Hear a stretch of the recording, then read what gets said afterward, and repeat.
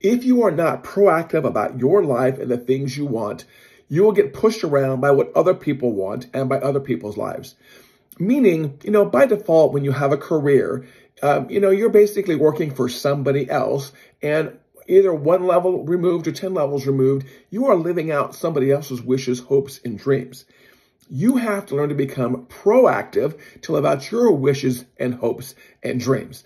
I mean, life is pretty easy. Life can run on autopilot, whether it's your health, your career, your money, where you live, things like that. Life will run on autopilot unless you stand up on your own two feet every single morning, put your stake in the ground and say, this is what I want out of life. I don't want to run my life according to this other person's hopes and dreams.